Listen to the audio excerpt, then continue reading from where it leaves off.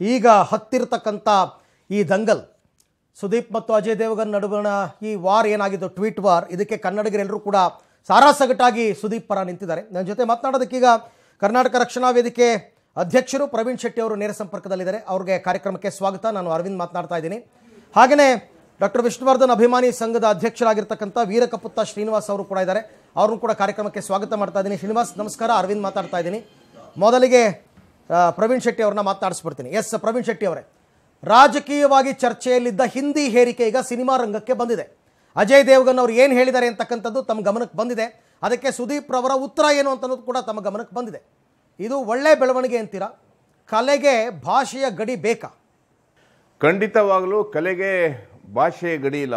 ಭಾಷೆಯನ್ನು ಮೀರಿ ಗಡಿಯನ್ನು ಮೀರಿ ಹೋಗಿರುವಂಥದ್ದು ಕಲೆ. ಅದನ್ನು ನಾವು ಸಹ ಕನ್ನಡಿಗರು ಒಪ್ಕೊಂಡಿದ್ದೀವಿ. ನಮ್ಮ ಕರ್ನಾಟಕಕ್ಕೆ ಎಲ್ಲ ಭಾಷೆ ಚಿತ್ರಗಳನ್ನ ನಾವು ರತ್ನಗಂಬಳಿ ಹಾಕಿ ಅಜಯ್ ದೇವ್ಗನ್ ಅವರ ಸಿನಿಮಾವನ್ನು ಸಹ ನೂರು ದಿನ ನಾವು ಓಡಿಸಿರುವಂಥವ್ರು ನಾವು ಕನ್ನಡಿಗರು. ಹೌದು. ಆದರೆ ಅಜಯ್ ದೇವ್ಗನ್ ಅವರಿಗೆ ಬುದ್ಧಿ ಇದೆಯಾ ಬುದ್ಧಿ ಭ್ರಮಣೆ ಆಗಿದೆಯಾ ಏನೋದು ನನಗೆ ಗೊತ್ತಾಗ್ತಾ ಇಲ್ಲ. ಹಿಂದಿ ರಾಷ್ಟ್ರ ಭಾಷೆನೇ ಅಲ್ಲ ಇಪ್ಪತ್ತೆರಡು ಭಾಷೆಗಳು ಕನ್ನಡ ಸೇರಿ ಇಪ್ಪತ್ತೆರಡು ಭಾಷೆಗಳು ರಾಷ್ಟ್ರ ಭಾಷೆಗಳು. ಹಿಂದಿನೂ ಒಂದು ಒಂದು ಸಾಮಾನ್ಯ ಭಾಷೆ. ಅದರಲ್ಲೂ ಸಹ ಕನ್ನಡಿಗರ ಮೇಲೆ ಇವರ ದೌರ್ಜನ್ಯ ಯಾಕೆ? ಇತ್ತೀಚೆಗೆ ಕನ್ನಡಿಗರು ನಾವು ಗಡಿ ಮೀರಿ ಆಚೆ ಹೋಗ್ತಾ ಇದ್ದೀವಿ, ದೇಶ ಮೀರಿ ಆಚೆ ಹೋಗ್ತಾ ಇದ್ದೀವಿ. ಕನ್ನಡಿಗರು ಬುದ್ಧಿವಂತರಿದ್ದಾರೆ ಎಲ್ಲ ರಂಗದಲ್ಲೂ ಕನ್ನಡಿಗರಿದ್ದಾರೆ ಆದರೆ ಯಾಕೆ ಕನ್ನಡಿಗರ ಮೇಲೆ ದಬ್ಬಾಳಿಕೆ ನಿಮ್ಮದು ಆರ್ಟಿಕಲ್ ಮುನ್ನೂರ ನಲವತ್ತ್ಮೂರು ನಲವತ್ತೈದರಲ್ಲಿ, ಸಂವಿಧಾನದಲ್ಲಿ ಹೇಳಿದೆ, ಕನ್ನಡ ಇಪ್ಪತ್ತೆರಡು ಭಾಷೆಗಳಿಗೆ ರಾಷ್ಟ್ರೀಯ ಸ್ಥಾನಮಾನಗಳನ್ನು ಕೊಟ್ಟಿದೆ. ಆದರೆ ನಮ್ಮ ರಾಜಕಾರಣಿಗಳು ಪ್ರಾದೇಶಿಕ ಪಕ್ಷದಿಂದ ಬಂದಿಲ್ಲ ಆದ್ದರಿಂದ ನಮ್ಮ ಭಾಷೆಗೆ ಅಷ್ಟೊಂದು ಸ್ಥಾನಮಾನ ಸಿಗುವಂಥ ಕೆಲಸ ಕೊಡುವಂಥ ಕೆಲಸವನ್ನು ಇವರು ಮಾಡಿಲ್ಲ. ಇದು ನಮ್ಮ ದುರ್ದೈವ.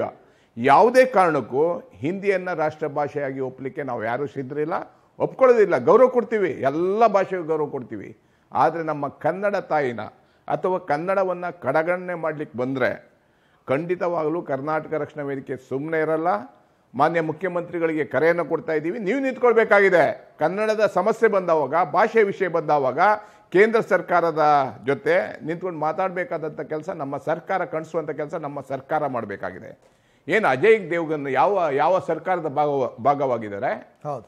ಇವ್ರು ಯಾಕೆ ಕನ್ನಡನ ನಾವು ಡಬ್ ಮಾಡ್ಕೊಂಡು ಬರಬಾರ್ದು ಅಂತ ಯಾಕೆ ಹೇಳ್ತಾರೆ? ನಾವು ಒಕ್ಕು ಒಕ್ಕೂಟದ ವ್ಯವಸ್ಥೆಯಲ್ಲಿ ಇಲ್ವ ನಾವು? ಕನ್ನಡಿಗರ ಕೊಡುಗೆ ಇಲ್ವಾ ಸಂವಿಧಾನದಲ್ಲಿ ದೇಶಕ್ಕೆ? ಕನ್ನಡಿಗರ.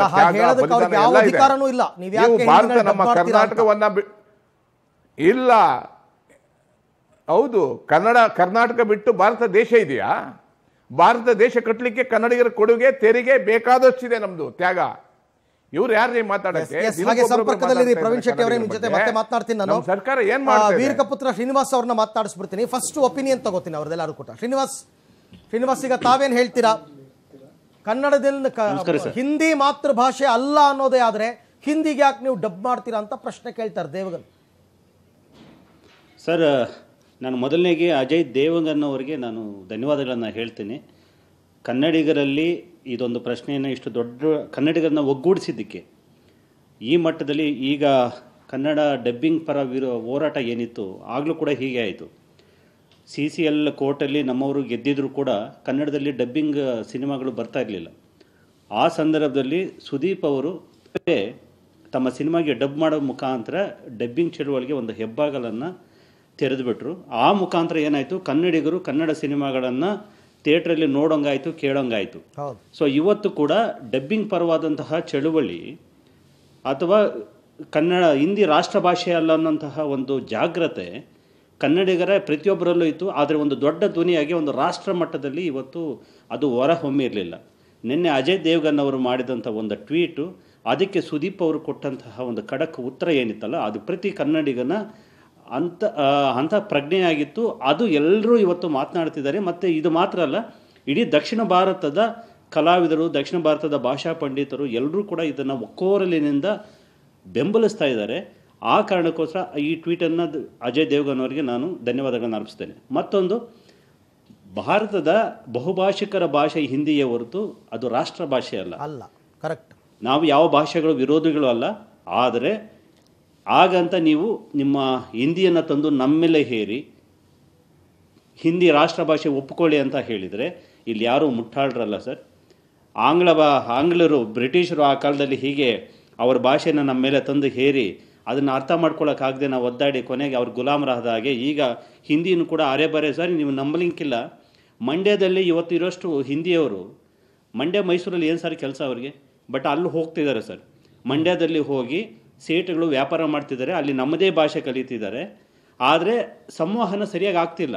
ಆ ಕಾರಣಕ್ಕೆ ಏನು ಮಾಡ್ತಾರೆ, ಈ ಹಿಂದಿ ಹೇರಿಕೆ ಮಾಡಿ ಹಿಂದಿ ಎಲ್ಲ ರಾಷ್ಟ್ರ, ಅಂದರೆ ರಾಜ್ಯಗಳು ಕಲಿತು ಬಿಟ್ರೆ ಸೊ ಆ ಗುಜರಾತಿನ, ಆ ರಾಜಸ್ಥಾನಿನ ಮಾರ್ವಾಡಿಗಳಿಗೆ ಇಲ್ಲಿ ಬಂದು ವ್ಯಾಪಾರ ಮಾಡಲಿಕ್ಕೆ, ಕನ್ನಡಿಗರನ್ನು ದೋಚ್ಕೊಳ್ಳಿಕ್ಕೆ ಭಾಳ ದೊಡ್ಡ ಮಾರ್ಗ ಆಗಿಬಿಡುತ್ತೆ.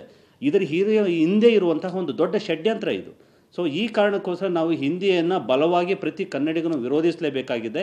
ಅವರಿಗೆ ಅವರ ಸಾರ್ವಭೌಮತ್ವವನ್ನು ದಕ್ಷಿಣದಲ್ಲಿ ಏರಲಿಕ್ಕೆ ಕರ್ನಾಟಕ ಒಂದು ಕೇಂದ್ರ ಸ್ಥಾನ ಆಗಬಾರ್ದು ಅನ್ನೋಂತಹ ಎಚ್ಚರಿಕೆ ಪ್ರತಿ ಕನ್ನಡಿಗನ ಬೇಕಾಗಿದೆ ಅಂತ ನಾನು ಈ ಸಂದರ್ಭದಲ್ಲಿ ಹೇಳ್ತೀನಿ. ಮತ್ತು ನಾನು ನಮ್ಮ ಕನ್ನಡ ಸಿನಿಮಾ ರಂಗದವರಿಗೆ ಮತ್ತು ರಾಜಕೀಯ ನೇತಾರರಿಗೆ ಎಲ್ಲ ಪಕ್ಷದವ್ರಿಗೂ ಸೇರಿ ಹೇಳ್ತೀನಿ. ದಯವಿಟ್ಟು ಇಂಥ ಸಂದರ್ಭದಲ್ಲೂ ಕೂಡ ನೀವಿನ್ನೂ ವ್ಯಕ್ತಿಗತವಾಗಿ ನೋಡ್ತಾ ಇದ್ದೀರ. ಅದಲ್ಲ, ದಯವಿಟ್ಟು ಇದು ಕನ್ನಡದ ವಿಷಯ. ನಿಮ್ಮ ಸಿನಿಮಾಗಳಿಗಿಂತ, ನಿಮ್ಮ ಪಕ್ಷಗಳಿಗಿಂತ, ನಿಮ್ಮ ವೈಯಕ್ತಿಕ ವಿಷಯಗಳಿಗಿಂತ ಕೂಡ ಕನ್ನಡ ಅನ್ನುವಂಥದ್ದು ದೊಡ್ಡದು. ಅನಕ್ರವರು ಹೇಳ್ತಾರೆ ಕನ್ನಡಕ್ಕೆ ಅನೇಕರಿದ್ದಾರೆ, ಆದರೆ ನನಗಿರುವುದು ಒಂದೇ ಕನ್ನಡ ಅಂತ ಹೇಳಿ. ಅಂದರೆ ಕನ್ನಡ ಎಲ್ಲರಿಗಿಂತ ದೊಡ್ಡದು ಅನ್ನೋದು. ಹಾಗಾದರೆ ಇವತ್ತು ಯಾಕೆ ಸರ್ವತೋಮುಖವಾಗಿ ಇದಕ್ಕೆ ಬೆಂಬಲವನ್ನು ಕೊಡ್ತಿಲ್ಲ ಪ್ರತಿ ಕನ್ನಡಿಗೂ ಅದ್ರ ಪರವಾಗಿ ನಿಂತಿದ್ದಾರೆ ಆದರೆ ಪ್ರತಿ ಸಾಧಕನು, ಪ್ರತಿ ಸಿನಿಮಾದವರು, ಪ್ರತಿ ರಾಜಕೀಯ ಪಕ್ಷದ ವಕ್ತಾರರು ಕೂಡ ಇದರ ಪರವಾಗಿ ನಿಂತಿಲ್ಲ. ಮುಖ್ಯವಾಗಿ ಬಿ ಜೆ ಪಿಯವರು ದಯವಿಟ್ಟು ಈ ವಿಷಯವಾಗಿ ತಮ್ಮ ಧ್ವನಿಯನ್ನು, ತಮ್ಮ ಇಂಗಿತವನ್ನು, ತಮ್ಮ ಅಭಿಪ್ರಾಯವನ್ನು ಕೂಡಲೇ ಕನ್ನಡಿಗರಿಗೆ ತಿಳಿಸಬೇಕು ಅನ್ನೋಂಥ ಒಂದು ಹಕ್ಕೊತ್ತಾಯವನ್ನು ನಾನು ಮಾಡ್ತಾ ಇದ್ದೀನಿ ಸರ್. ಖಂಡಿತ. ಶ್ರೀನಿವಾಸ್ ಮಾತು ಹಾಗೆ ಸಂಪರ್ಕದಲ್ಲಿರಿ. ನಿಮ್ಮ ಜೊತೆ ಕೂಡ ನಾನು ಮಾತನಾಡ್ತೀನಿ. ಸೊ ಅಲ್ಲಿಗೆ ಪ್ರವೀಣ್ ಶೆಟ್ಟಿ ಅವ್ರಿಗೆ ಒಂದು ಪ್ರಶ್ನೆ. ಅರವತ್ತು, ಎಪ್ಪತ್ತು, ಎಂಬತ್ತರ ದಶಕದಲ್ಲಿ ದಕ್ಷಿಣ ಭಾರತದ ಭಾಷೆಗಳು, ಕನ್ನಡ, ತಮಿಳು, ತೆಲುಗು, ಮಲಯಾಳಂ ಇದು ಯಾವುದೂ ಕೂಡ ಹಿಂದಿಯವರ ದೃಷ್ಟಿನಲ್ಲಿ ಭಾಷೆನೇ ಅಲ್ಲ.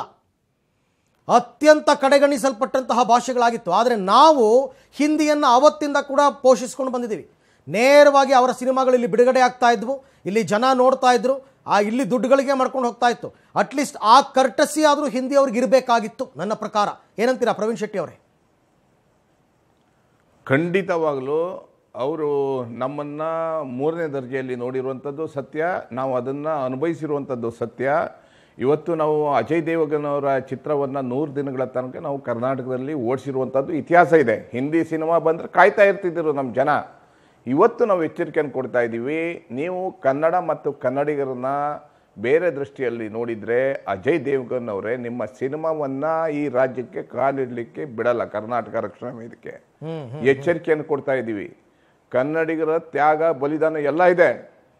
ನಾವು ಇವತ್ತು ನಮ್ಮ ಸಿನಿಮಾ ದೇಶ ಮೀರಿ ರಾಷ್ಟ್ರಗಳಿಗೆ ಹೋಗ್ತಾ ಇರುವಂಥ ಸಂದರ್ಭದಲ್ಲಿ ನಿಮಗೆ ಹೊಟ್ಟೆಕಿ ಸ್ಟಾರ್ಟ್ ಆಗಿದೆ. ನಿಮ್ಮ ಹೊಟ್ಟೆ ನಾವು ಏನು ಮಾಡೋಕ್ಕೆ ಸಾಧ್ಯ ಇಲ್ಲ. ಅದೇ ಕನ್ನಡಿಗರ ಬುದ್ಧಿವಂತ ಬುದ್ಧಿವಂತಿಗಳಿದೆ ಕನ್ನಡಿಗರ ಹತ್ರ, ಶಕ್ತಿ ಇದೆ ಕನ್ನಡಿಗರ ಹತ್ರ, ಕಷ್ಟಪಡ್ತಾರೆ. ಸುಮ್ ಸುಮ್ಮನೆ ಕನ್ನಡಿಗರು ಬಂದಿಲ್ಲ. ನಾವು ಪ್ರತಿಯೊಂದು ಹಂತದಲ್ಲೂ ನಾವು ಕಷ್ಟಪಟ್ಟಿರುವಂಥವ್ರು. ನೀವು ಹಿಂದಿಯನ್ನು ಹೇರೋದ್ರ ಮುಖಾಂತರ, ಇವತ್ತು ಅಮಿತ್ ಶಾ ಅವರು ಮಾತಾಡ್ತಾರೆ ಇನ್ನೊಬ್ಬರು ಮಾತಾಡ್ತಾರೆ, ಹಿಂದಿಯನ್ನು ನಮ್ಮ ಮೇಲೆ, ಮುಂಚೆಯಿಂದನೂ ಕಾಂಗ್ರೆಸ್ ಅವರು ಸಹ ನಮ್ಮನ್ನ ಮೇಲೆ ಹೇರ್ತಾ ಬಂದಿದ್ದಾರೆ. ಆದ್ದರಿಂದ ಹಿಂದಿಯನ್ನು ಹೇರೋದ್ರ ಮುಖಾಂತರ ನಮ್ಮ ಬದುಕನ್ನು ಕಿತ್ಕೊಬಿಟ್ಟಿದ್ರಿ. ನಮ್ಮ ವ್ಯವಹಾರಗಳನ್ನು ಕಿತ್ಕೊಬಿಟ್ಟಿದ್ರಿ. ನಮ್ಮ ರಾಜಕೀಯ ಅಸ್ತಿತ್ವವನ್ನು ನೀವೇ ಆಳ್ತಾ ಇದ್ದೀರಾ? ನಮ್ಮನ್ನು ಎಷ್ಟು ವರ್ಷಗಳಿಂದ ನೀವು ನಮ್ಮನ್ನು ಆಳ್ತಾ ಇದ್ದೀರಾ? ದಕ್ಷಿಣ ಭಾರತದವ್ರಿಗೆ ಎಲ್ಲಿ ರಾಜಕೀಯ ಪ್ರಾಮುಖ್ಯತೆ ಕೊಟ್ಟಿದ್ದೀರಾ? ಇದನ್ನೆಲ್ಲ ಯೋಚನೆ ಮಾಡಬೇಕಾಗತ್ತೆ.